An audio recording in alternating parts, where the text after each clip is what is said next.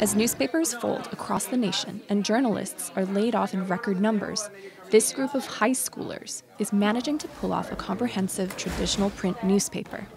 There's something incredibly satisfying about holding something concrete in your hands and having a physical issue that you're passing out to students at the school that you wouldn't get um, if we were only online. For a century, the Berkeley High Jacket has stuck with tradition, a printed paper published twice a month.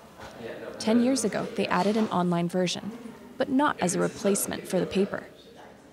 It's definitely inconvenient. I mean, with all the time that we have to put into laying out pages on InDesign and all the money and resources it takes to print, it's definitely not the easy route. Um, but I think that without it, you sort of lose your tie to the news that you're producing. High school newspapers used to be as common as football teams. At last count in 2011, about two thirds of public high schools had student papers.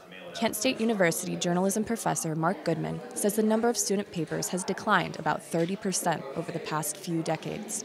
Amid shrinking school budgets, most papers have folded or shifted online. The Muslim Students Association is having a speaker series, periods one, two, and three, uh, tomorrow actually, so you'd have to go to that in those periods. Just get your teacher. The Jacket's 16 page paper is a rare feat, and the students managed to run it without any financial backing from the school.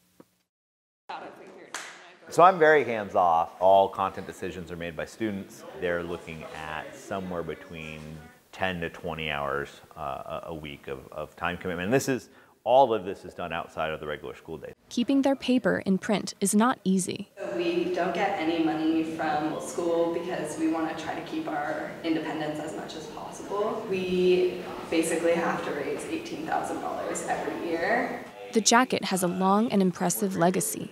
It once broke the story of a sex trafficking ring in Berkeley. So SB 827 bill was just shut down.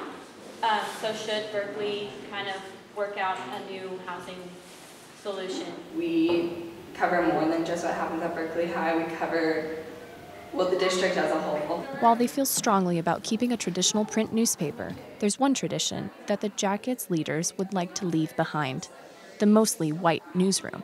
This is a problem that newsrooms all over the country are dealing with, is ensuring that we are reflecting the diversity of our community, and, and, and we don't uh, on, on our staff right now. And so recruiting students of color, recruiting students that don't always see themselves as the strongest writers, but understanding that the importance of journalism is, is not always about being a strong writer. It's about having something to say and working with editors and copy staff and anyone else can sort of help bridge the skills gap. For now, the jacket will last on paper as long as its advertisements and fundraising efforts allow.